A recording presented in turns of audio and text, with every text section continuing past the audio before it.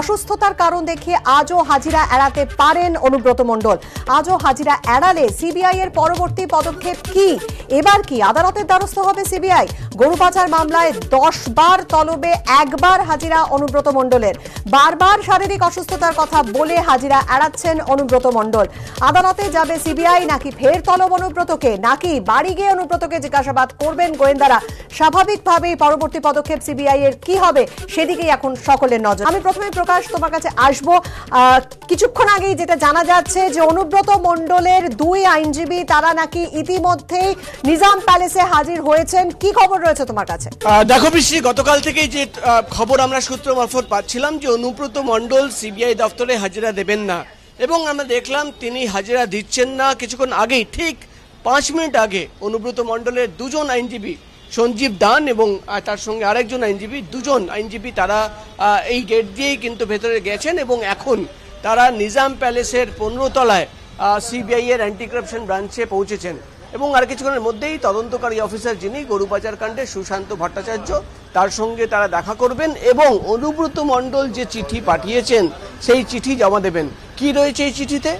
CBI সূত্র মারফত বা আইনজীবীদের সঙ্গে কথা বলে আমরা যেটা জানতে পারছি, চিঠিতে অনুব্রত মণ্ডল জানিয়েছেন সিবিআই এর তদন্তকারীদের যে তিনি অসুস্থ ডাক্তার, চিকিৎসকরা তাকে বেড রেস্টের কথা বলেছে এবং সেই কথা মেনেই তিনি কিন্তু বোলপুরের নিজের বাড়িতে রয়েছেন।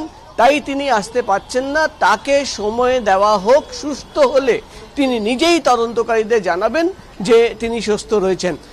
এবং যেটা আমরা আইনজীবীদের সঙ্গে কথা বলে জানতে পারছি যে এই কথার জানিয়ে তিনি একটা চিঠি করেছেন।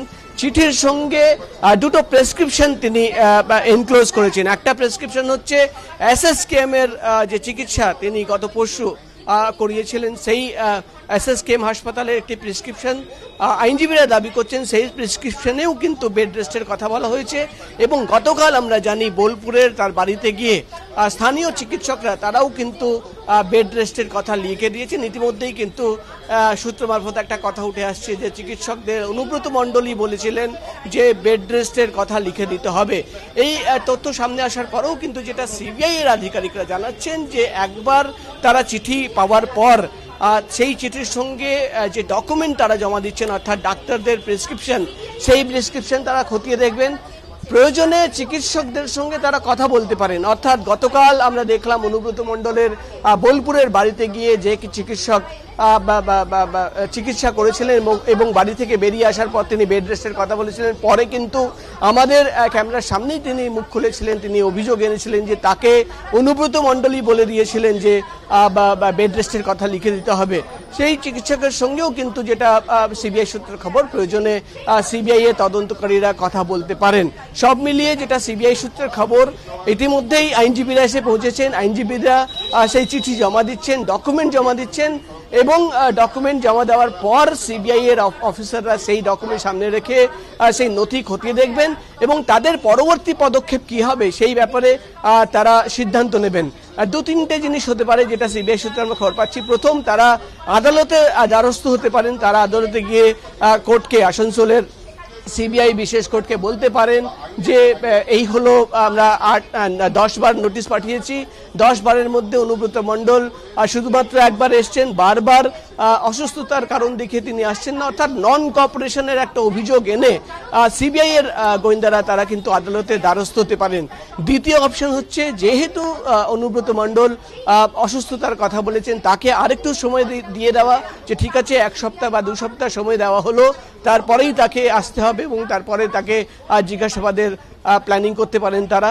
এর মধ্যে যেটা সিবিআই সূত্রের খবর, অনুব্রত মণ্ডলের বিরুদ্ধে যে তথ্য প্রমাণ রয়েছে, সেটা সামনে রেখে আরও কিছু এভিডেন্স তারা গ্যাদার করতে পারেন।